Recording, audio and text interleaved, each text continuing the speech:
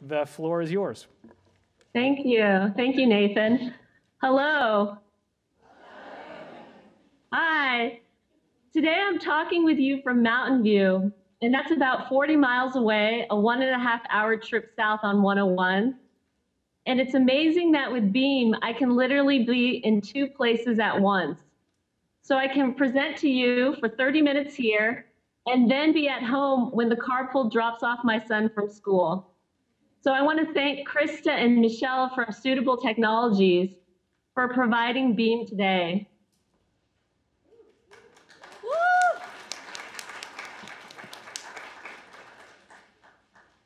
My name is Laura Lee, and I'm part of the marketing team at Quiver Vision. Today at the Future of Libraries conference, you've heard from great speakers about new technologies in online communities and how libraries can tap into them. As you all know, li libraries are being changed greatly by technology. How you interact with patrons through the resources that you offer to the programming that enhances and enriches activities. Quiver is an augmented reality company. You've probably heard of augmented reality in the last months mostly in June with the summer craze around Pokemon Go. Next slide, please. Many libraries are harnessing this interest in catching Pokemon through programming activities. They created programming around the game. For example, the Psyduck in the stacks above, that yellow cartoon duck waddling around in the aisle, was caught in the Canton Public Library in Michigan.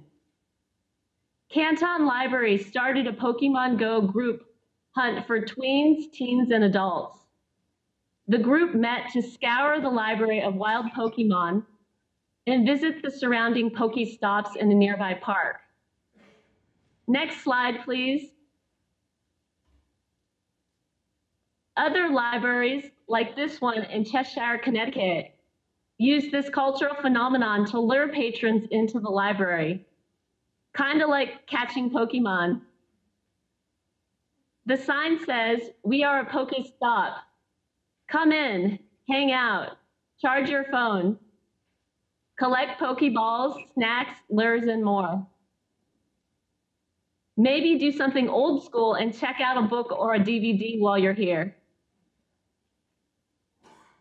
Next slide, please.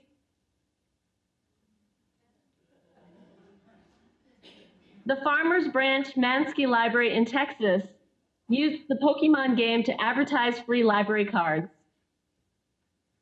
Libraries have created programming around the game that includes introducing kids to physical privacy and safety issues in a digital world, how to become conscientious users of technology, and helping serve as media mentors for kids and families. Pokemon Go is still going strong, even though it is getting less press. As of yesterday, it regained its spot as the top grossing iPhone game in the US and is number one in 15 other countries. The game was referred to as a social media phenomenon, which has brought people together from all walks of life. Just in July, 231 million people engaged in 1.1 billion billion interactions that mention Pokemon Go on Facebook and Instagram. Pokemon Go has also brought attention to augmented reality. Next slide, please. And Quiver Vision is benefiting from it because people are seeing how this technology can bring characters stories, and learning to life. Quiver Vision is an augmented reality company that brings coloring pages to life. What does it mean, brings to life? I'll show you. Cheryl, can you please click on the video link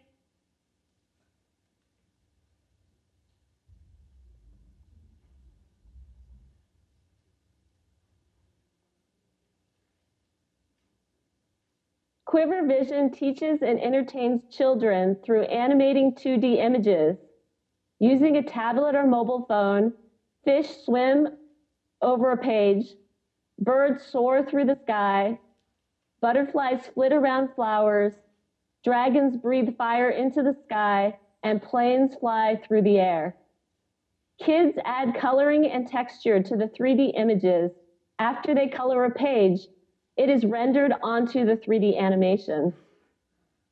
So augmented reality can be more than Pokemon Go. It is a growing industry that Goldman Sachs estimates will be an 80 to 182 billion dollar market within the next 10 years. And it will be used in everything from games, education, training, interior design, construction, archaeology, engineering, product design, business to business sales, merchandising, marketing, and more. So what exactly is augmented reality and how does this differ from virtual reality? Next slide, please.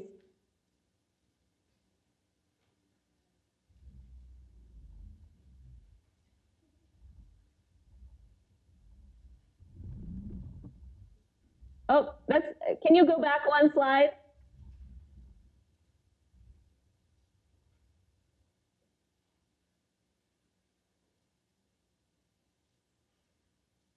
This the virtual reality slide?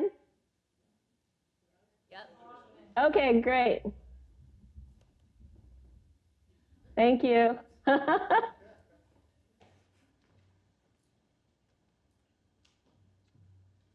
Augmented reality, abbreviated as AR, is a technology that creates computer-generated sensory input, sound, video, graphics, GPS data, on top of a user's view of the real world.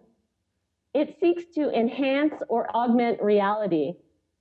I think of it as essentially a data layer on top of reality that is viewed through, through such as a tablet. AR is different are virtually virtual reality fully immersive environment while AR keeps us in the real world. One of Quiver Vision's goals is to use AR to make learning come alive to students. Next slide, please.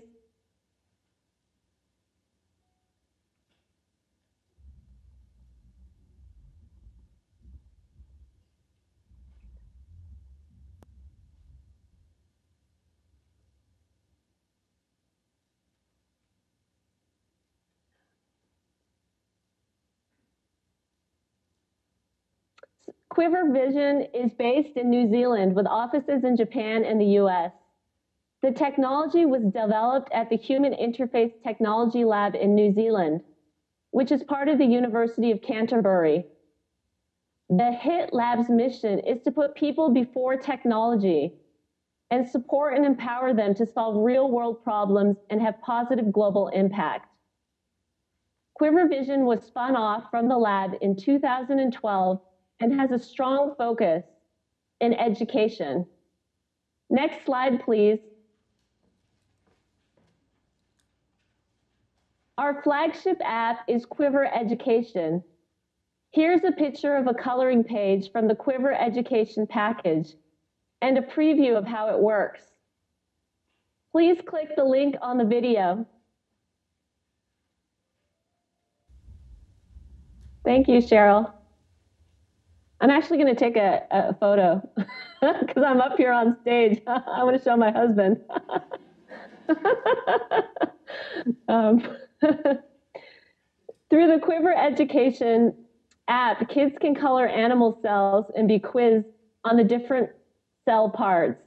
They can test their plant cell knowledge, experience planet Earth from space, and discover the inner workings of a volcano and make it erupt. Uh, next slide, please. Here are fifth instances learning about cells.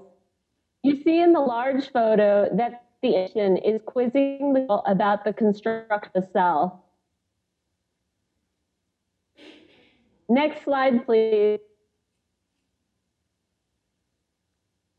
Here, kids are learning their patterns and the rotation of the earth.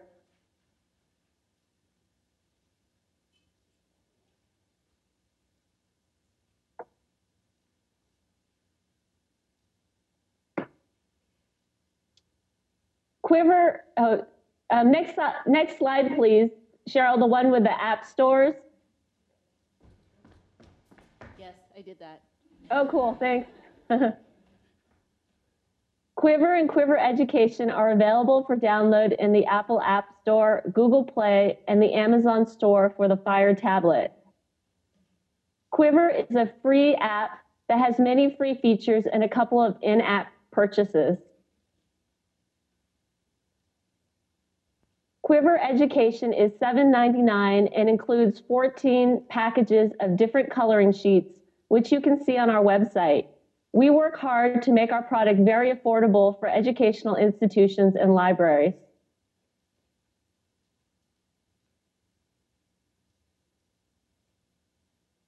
For purchases of the app on multiple devices, we also offer a discount. Please contact us if your library is interested. Next slide, please.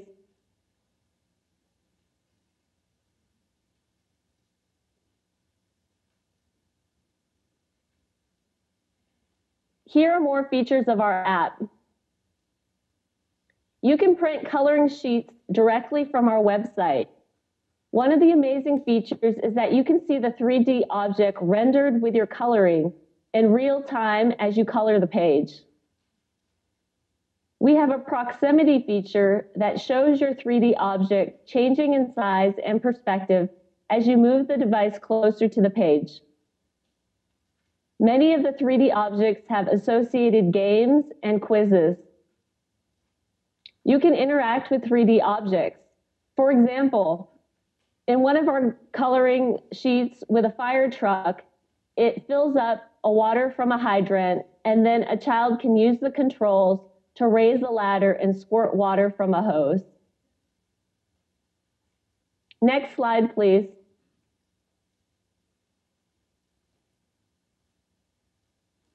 Here's a screenshot of the many free coloring sheets that you can download and use for programming in your library.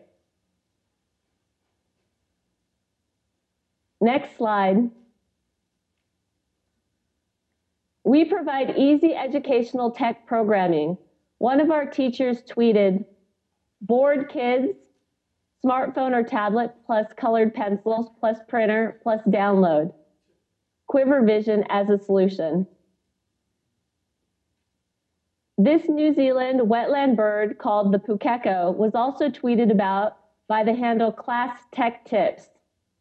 Here it is fully colored as it looks in nature. Next slide, please. Here's a blank coloring sheet of a pumpkin. Quiver Vision has many coloring sheets for your library program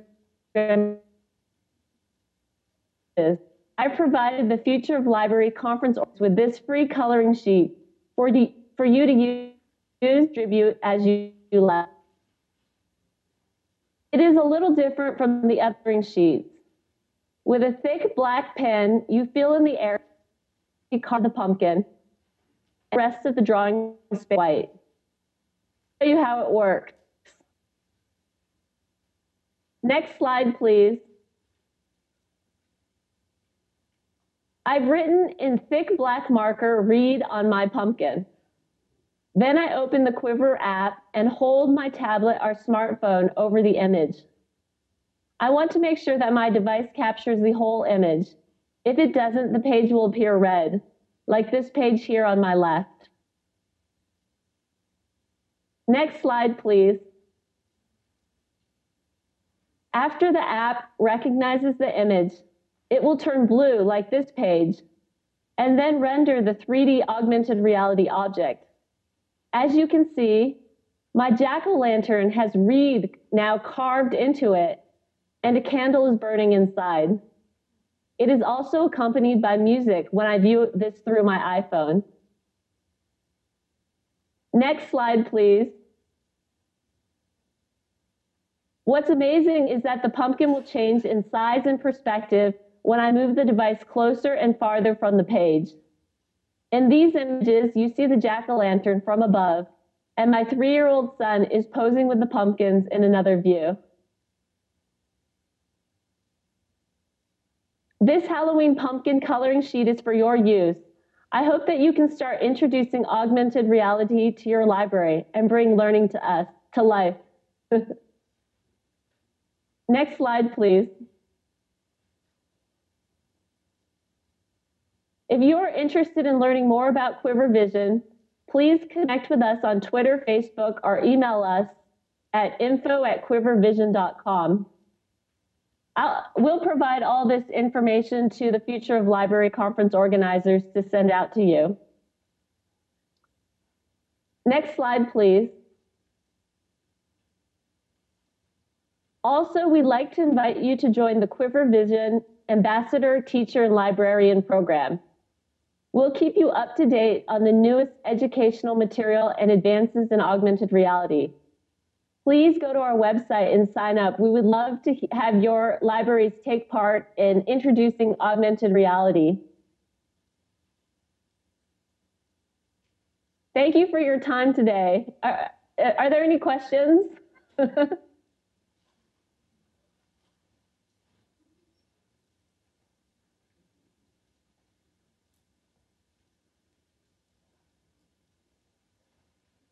Is Angela there?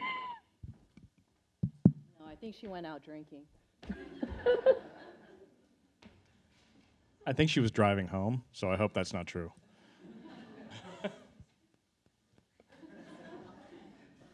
I know my employee. Okay.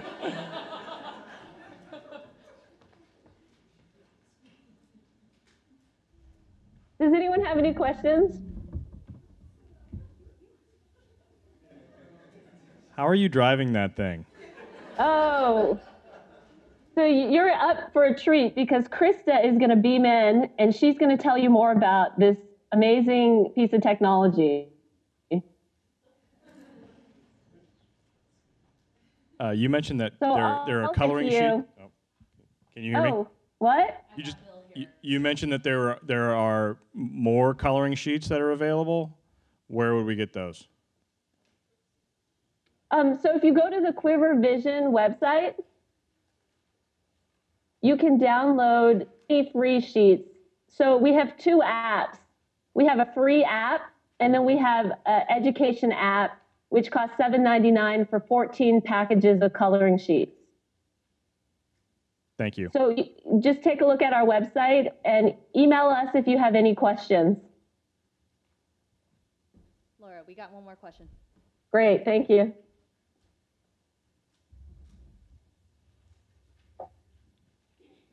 Um, so I've taken a look at your website, and I'm just wondering, like, what, I mean, without going into obviously much detail because it's probably proprietary, but I mean, what areas are you looking to open up your educational programs? Like, is it more science? Is it more kids with disabilities? I mean, what's what's what what can we expect if we keep following you and keeping updated to your company's updates? So, so right now we have a, a lot of content in human biology for about the fifth and sixth grade level. So, like understanding plant cells, animal cells. Um, we have geography and learning about the earth. So, teachers and librarians use this content um, for pretty much um, ages 5 to um, 11, 11 or 12. Um, we're moving into more human biology in terms of understanding the whole human body. We also have many modules about nature, learning about birds, insects, different types of animals and their habitats.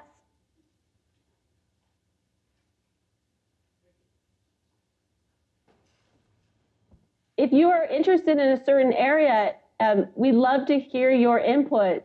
So please send us an email if you see that we're missing a content area that you think children would really enjoy and would like to see through 3D models.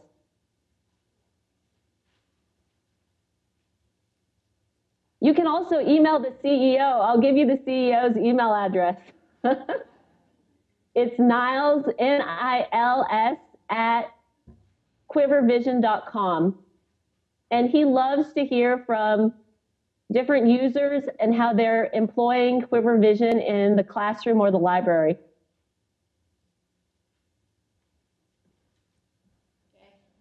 Okay, thanks a lot, Cheryl. Thanks, Laura. Thank, thank you, guys. Um, I'll be beaming out, and then Christa will be beaming in to talk more about suitable technologies and the device you see here in front of you. Bye.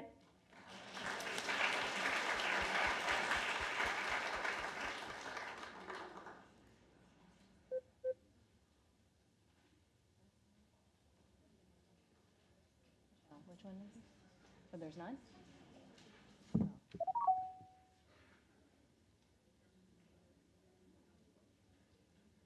Hello. Hi. I Just turn my volume up a little bit.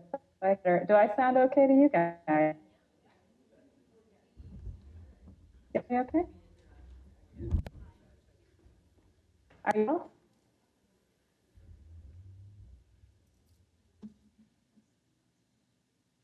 You're Cheryl? I am Yep. Cheryl. Hi, Christa. I'm Christa. You'll be advancing my slides, yeah? Uh, yes, uh, though we don't really have your slides up yet, so I just put your website up there. Oh, okay. Um, We will get that up pretty shortly, Okay, but uh, you can address my audience. All right. and, right. uh, Thanks, say Cheryl. hello to them while we uh, figure it out. Oh, there we go. Okay, Super. We're up. Okay. Uh, yes, I will be Hello, advancing your slides. everybody. All right, thanks, Cheryl. Hello, everybody. My name is Christa. I'm with Suitable Technologies, and we are the creator and maker of the Beam system. The device that I'm on is the Beam Pro. Um, thank you for inviting us to join your event today and to talk about the future of museum or libraries. Um, I am coming to you from Seattle, Washington, and my role at Suitable is uh, Director of Education Business Development, and that includes our university and education partners, but also our cultural arts partners, and that includes museums and performing arts centers. Um, on a personal note, I love libraries. I have my entire life. I don't remember a time that the local library was not part of my existence. And um, I think the work that you do, not only in, in educating your communities, but also providing a space for um, programming and discussion and just continues to expand once we get into this new digital age that um, is just providing worldwide access to everything. And I think telepresence really uh, feeds into that. So with no further ado, let's move on to Beam. Slide, please. So what is telepresence and mobile telepresence specifically? So the Beam system is a mobile telepresence system, and that means that it has wheels. So it's a video conferencing system that the user from their computer can log into and using their um, arrows on their keyboard, their mouse, however they control their computer, they can control this device. And that provides the user with the freedom of, of being there, of choosing their path, of having control over where they go and when they go. Um, what makes that different from different from uh, traditional video conferencing is really that control and that you're not reliant on somebody else setting up the computer in the you know destination space.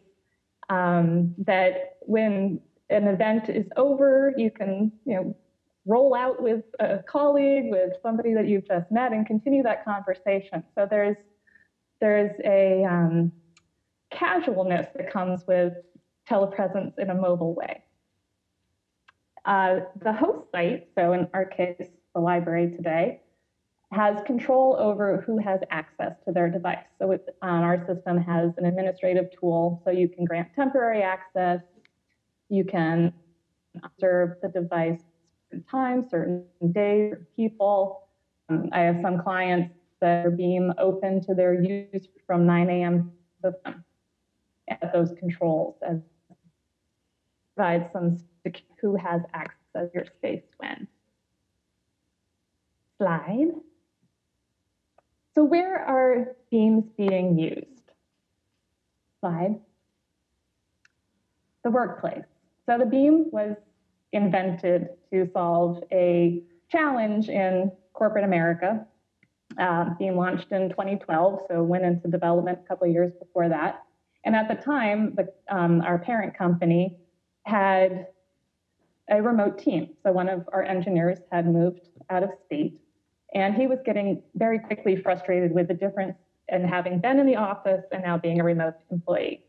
So um, he was a, he is a robotic engineer. So he took things upon himself and took the base of the robot that Willow Garage had developed and um, used a laptop that he could remotely access and created the beta type of um, the Beam device. If any of you are Big Bang Theory watchers, the Shelbot was an early rendition of this device um, as it was being tested and developed into what you see today. So um, by using this in the workplace, you're not only able to bring remote employees into the office for meeting, collaboration, brainstorming, discussions. Um, my colleague Michelle, who's been setting this up today, she and I are both remote employees, and we we see each other on Beam, and that's how we talk to each other. Uh, rarely do we get to physically be in the same place at the same time. Um, but it also allows companies to now bring their clients into their offices with ease. It allows manufacturing companies to be present in their uh, manufacturing facilities. Oftentimes, those are overseas, abroad, and the travel time um, can be expensive there. But with a solution like Beam, a mobile telepresence solution, they can beam into that warehouse. They can walk the line with their colleagues there and have real time conversations. Slide. Uh, another use that is part of my world with Beam is education. And as education has been evolving over the last decade, distance learning has become an important component to what higher education is doing. Now, with mobile telepresence, remote students are able to be in the classroom. So, for subjects that require um, interaction with fellow classmates, like education classes, nursing, medical. Um, there's so many subjects that a big part of that learning is learning from others and having um, taking those ideas and really talking them through with your fellow classmates. We, um, we work with many research universities who are using our device for uh, research in different subjects. One of them is Michigan State University, and they are focusing on the question of what adding mobility to teleconferencing does for the user. And their findings interesting. Um, you know, some of them are oh, to hear, uh, but so it's always interesting to see the final study. But they, their study did find that remote participants who use versus um, a traditional video conferencing did feel that they had a greater sense of presence in the classroom and also had an ability to build relationships with their fellow classmates. And as a remote employee, I totally get how this device would create an environment where that happens in that you can have those casual conversations that you would have in the lunchroom or you would have at the water cooler. But when you are remote and you're only just coming in for that video conference, you don't have those, those casual interactions. So it's, it's building a community. You're like you're part of that community. Um, another great example in education, uh, high school that we work with in Brooklyn, um, is using the beam to bring subject experts into the classroom. So to bring the curriculum that they're learning sort of alive and providing it with a real use case. Uh, I was in New York a couple weeks ago and I got to go to the high school to meet with their principal and uh, their facilitators. And while I was there, they're like, oh, we have someone beaming in to one of the Latin classes. Would you like to see? I was like, absolutely. So um, go into a freshman Latin class. So they're three years into, or three weeks into studying Latin. And they have a priest beam in from the Vatican to talk to these kids in Latin. you know, these kids, I'm sure were all like, I don't know enough to talk to this guy, but they all did, and they all engaged with him, and he was in control of that room. That he had their attention for the entire half hour that he was there talking with them, and I think it was just an exciting opportunity for them, and that's why it was an engaging one. Um, another of our university clients is in the planning stages for a pilot program where they're going to work with three other universities and have a crossover STEM focused curriculum.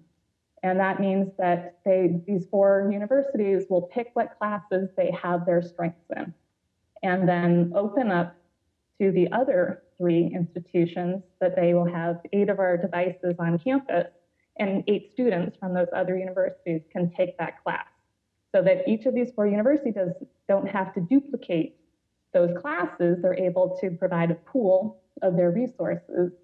Um, so that will be interesting because it will be a research project as well to see how the students, uh, what their takeaway is from that experience. But I, I think it's really promising. Slide, please.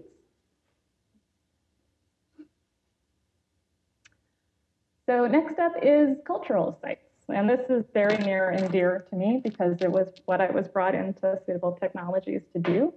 Um, my background's in museum technology, and when uh, I was approached about coming to work and seeing this device and the possibilities in the museum space, which I think is somewhat relevant to the library space. Um, most museums are either public institutions or we would classify as public institutions. And by opening up their um, collections and ex exhibits to a broader audience is, is part of their mission. Um, same as, as I would suspect for libraries, that community extending access is important. Launched Beam in Museum, uh, Beam early adopters of new technology. Uh, it was important to find a key part, and we were lucky to the DeYoung Museum here in San Francisco. Um, so they launched a project with us, focusing on accessibility. And they ran extensive training with their docents and volunteers, created a, a core group of trained docents to provide tours on the beam. Um, they did a lot of uh, research and feedback within the disabled community. So they did a bunch of testing rounds to see what worked, what didn't work. Same on the docent side to really get buy-in from the community that they were trying to serve, but also the people on the ground who had to make sure it was successful. Um, at the end of that testing program, which took about nine months, the end result was that there was a value in this. Um, there was a value to the users, but also to the museum, and they have since launched a formal Beam Tour program as part of their accessibility program. Um, as that program was developing and we started a couple of other uh, pilot programs with other museums, we started to think about how else could we use this technology to broaden the audience. And um, the Computer History Museum in Mountain View was the first to say, let's try bringing a school group in on Beam and see if we can't provide access to underserved schools in our community, a way to easily and with no cost and you know have a tour. So um, to test that out, they needed a school, and I happen to have a best friend in Brooklyn, New York, who is a fifth grade teacher. So I talked to her, can you get your principal to okay this? And she did. So her fifth grade class sat around a large screen, as you guys are today. Um, the teacher controlled the beam device, and they went on a tour of the Computer History Museum. I got to have extra feedback because this teacher, as I said, is a personal friend. And she told me it was the first time that school year that they all were quiet at the same time, which she thought was remarkable. Um, but the, the, kids were engaged, and it was about an hour and a half, the tour. They had good questions. Um, and it, it, we definitely found that there was a value in it. So um, Computer History Museum and the San Diego Air and Space Museum have both been sort of tweaking their educational outreach programs so that their curriculum-driven uh, education programs are able to be conducted on Beam. So that's pretty cool. And then um, the last example I want to use, uh, share with you about the museum world is the American Museum of Natural History, which is in New York City. And they are using their beam in their one of their older exhibits that has not been updated in a couple of decades, and it's their Indigenous Peoples Gallery. So the story that's being told in there is not necessarily accurate and it's not contemporary.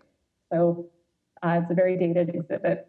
And when they were talking about, you know, that it really requires a huge overhaul, what else could they do? And they have partners with a bunch of Native community, Native American communities across North America whose objects are part of a collection. So they reached out to this organization and said, is there a way I can better tell your story from your point first person? And so, um, and, we've talked to Beam and how would that work galleries. Well, they're offering a program in this gallery where they have either artisans or curators, these tribes, beam in and talk to the visitors about like what, what is the importance of this object and how do we use it today? And it's still important to our culture. And um, really providing uh, a, a point of understanding to these objects that are, you know, quite remarkable and are part of all of our history. Um, and that's been very successful and exciting. So, you know, bringing bringing the subject expert to provide that unique point of view uh, is, something that's very exciting about Beam. Slide. So then it comes back to why is this important to you guys? So I, I do think that there is crossover to other uses that we've seen Beam successful in, or telepresence in general successful in. Um, again, that's bringing in subject experts. And I would love to see the day where museums have a station you know, on a computer and we have beams in libraries and museums and your patrons can come in and check out an hour on a beam you know at the taj mahal or at the met museum. And that is part of the, the services that your libraries offer their communities as well as if somebody you know comes in and they, they want to know more about 12th century manuscripts they can beam into University of Cambridge and meet with their librarian who that's what they know about. That's what their collection has. So that, that you're able to have expansive knowledge beyond what your library's resources are and really tap into a whole network of um, information. I think um, it also could be used in your community programming, whether that's a lecture series, I know a lot of museums provide professional service assistance, so whether it's um, small business mentoring or tax assistance, um, to be able to have that subject expert come in and, and meet with a small group of people. Um, I think including it in technology education. So we have a library client who has uh, one of our smaller Beam, Beam Plus in their collection now and is part of their educational training when it comes to technology. So they'll have groups come in and they'll talk about remote telepresence, they'll talk about robotics, and this is just one of those tools that they use. Um, and then another very important piece of what Beam can do is provide accessibility. So um, libraries, the same as museums, are, are part of our communities. And to be able to extend access to the physically disabled in a very easy way on their end um, is really a fantastic opportunity to serve your communities. Um, with that said, I'm just going to quickly slide, please. so last year was the silver anniversary of the Americans with Disability Act. Um, we did a lot of, of conferences that focused on the ADA and, and what the next steps in the future for that look like. Um, and we were had a fantastic opportunity to have a beam at the White House for a woman, Alice Wong, being honored as part of the White House's celebration of the anniversary. And she um, has spinal muscular atrophy and was unable to travel from San Francisco. So it came to our attention. We said, absolutely, let's get a beam there. Um, so uh, there, we have a fun video clip of that moment. So slide, please.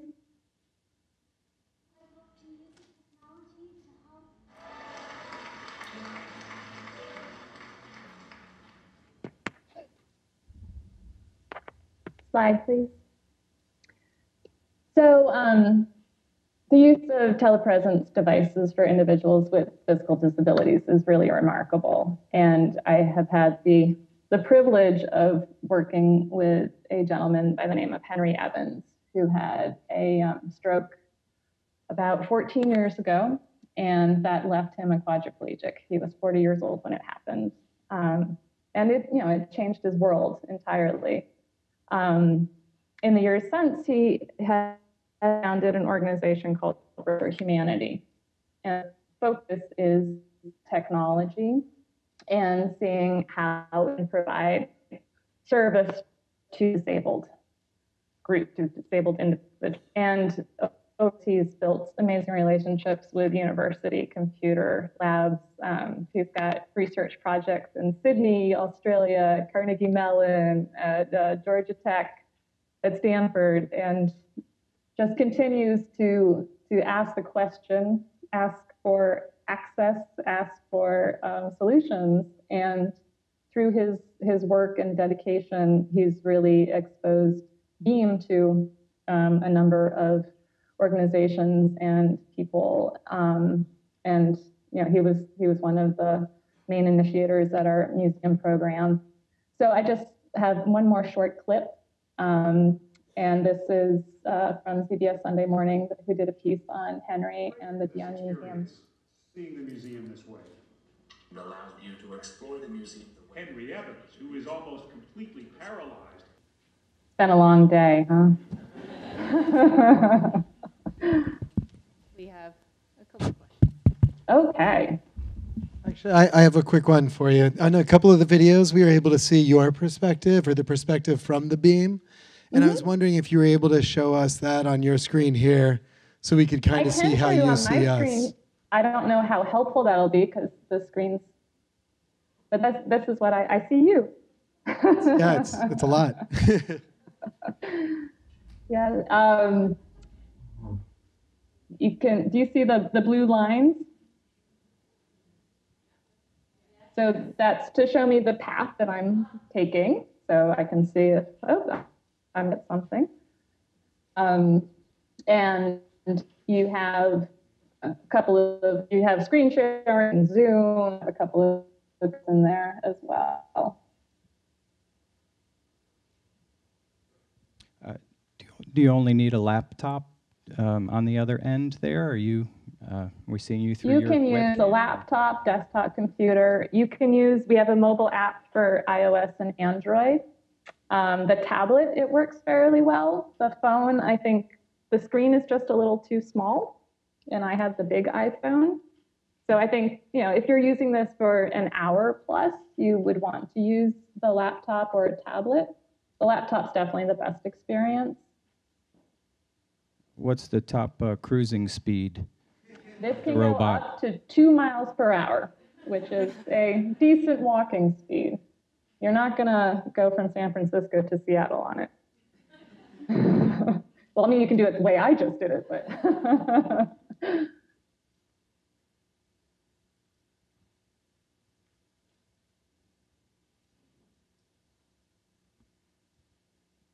Any other questions?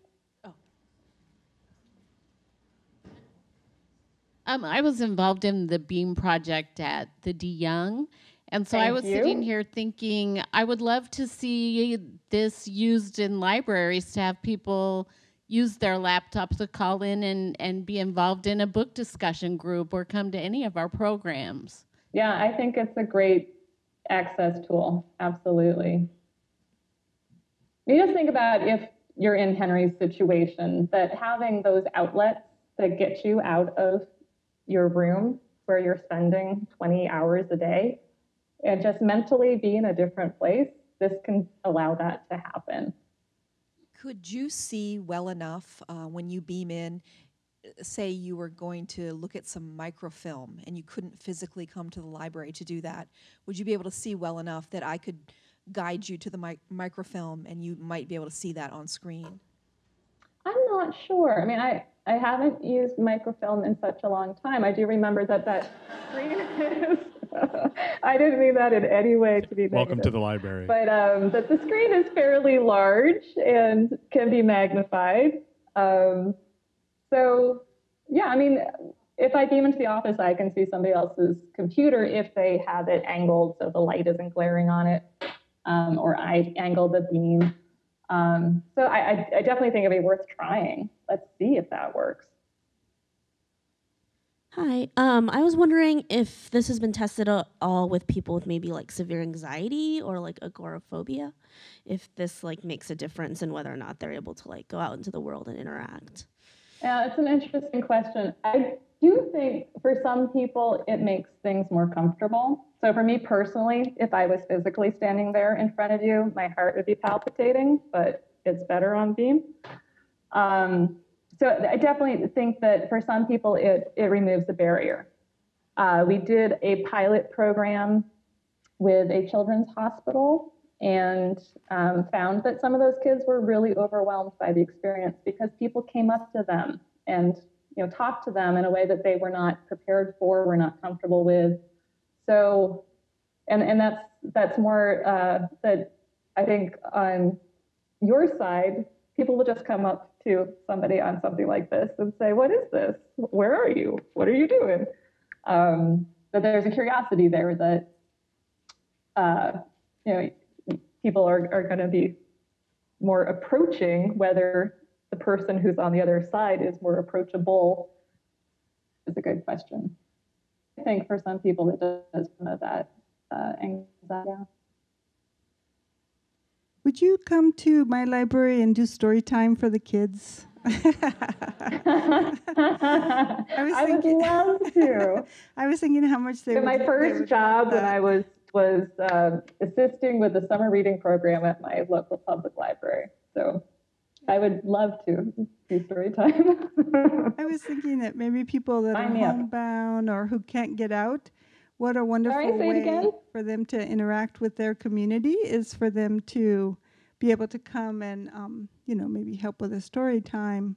There's another thing about libraries is that people often find things. Um, you know, when they come in the library, they find things that they weren't looking for. So to have somebody be able to come and roam the stacks of the library with that, we have a lot of um, caregivers that come in to check out for people who are homebound. But wouldn't it be awesome if they could come in with this beam Yeah, with their caregiver and say, "Oh, I want to see that title there, that one that I didn't know Yeah. existed, and here it And is, and I want, I want check that it one." out, but someone can help them do that who has hands. Yeah, I, I mean, yeah, it's it's part of the library experience that you you go to look for one book, but you find seven because you get to browse the stacks.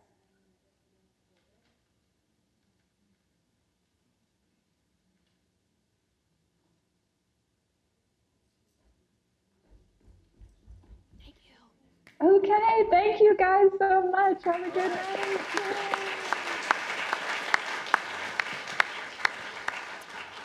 And with that, thank you again for coming. Um, you should have received uh, a survey, so please fill that out for us. That's how we decide what to do next year. Um, and take all of your feedback into account. That makes a big difference.